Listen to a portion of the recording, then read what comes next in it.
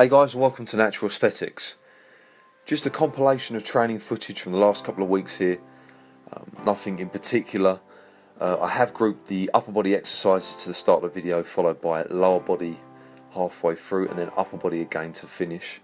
Exercises are in no real particular order, um, but just gives you an insight into some of my training at the moment um, and the exercise and rep schemes that I'm doing. I thought I'd use this opportunity to talk about um, the mentality required to diet. Um, and I'm not talking about losing a few pounds after a holiday, I'm talking about dieting to extreme levels of body fat. If you've perhaps got a competition or uh, some photos that you want taken, or even you just you just want that extreme look when you go on holiday, you want to be a cut above uh, the guys that are just in shape. And there is a big, big, big difference between the two. There's a completely different mentality required, and I'm going to go over that now. The first thing that can help you on your journey is knowledge. You must take the time to understand calories, carbohydrates, proteins, and fats, and how they can affect the body both short term and long term. The relationship between these and how you can manipulate these to achieve your desired body fat percentage.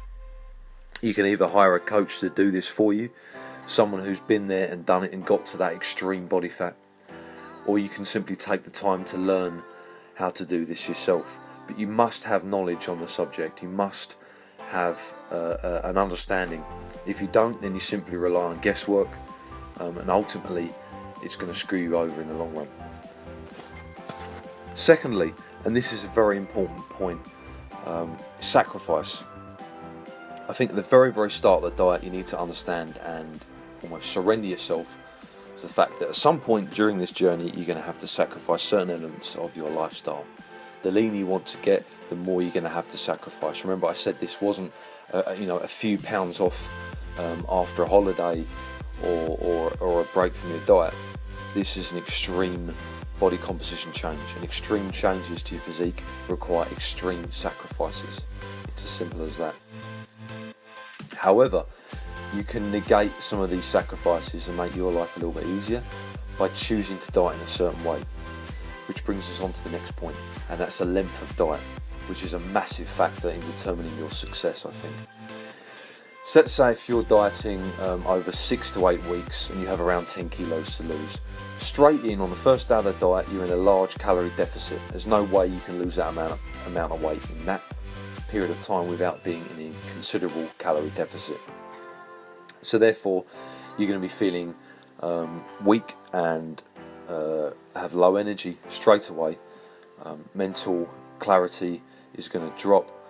Day-to-day tasks are going to become difficult, and you're going to be feeling hungry um, straight away. Let alone your energy in the gym um, and your ability to keep hold of muscle mass. However, if you're dieting over a longer period of time, and as a natural, I would suggest at least 20, uh, 20 weeks, if not six months, you give yourself more room, you give yourself more leeway, almost more time to take it a little bit easier, less stress, because with six to eight weeks, you know, you can't afford one slip up.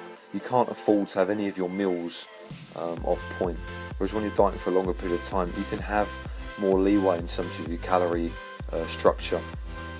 You can go out and have, you know, a meal with a family. Um, you can have certain treats as long as it fits into that kind of calorie framework um, you can enjoy yourself more.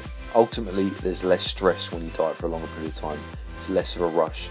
You have more time to play with, um, and I think that's crucial in determining someone's success in getting very, very lean and someone who gets uh, just in shape. Stress is a killer. When you start panicking that, that you're not perhaps losing weight as fast as you want to, or you can't prep the food that you want to to stay on this diet, then it's game over you need to approach the diet with a certain amount of flexibility um, and calm. You need to stay calm and accept that you're not going to be perfect all of the time. You can't possibly have every single meal, every single bite that's going to be perfect and fit in your calories and your grams of macronutrients perfectly. Accept this, and the journey will be easier, and you'll be able to um, continue for longer and ultimately get leaner. Now, it's your own choice no one is forcing you to diet. You want to get lean, um, and you're going to enjoy the feeling when you get there. You're going to enjoy that look. So you might as well enjoy the journey to get there.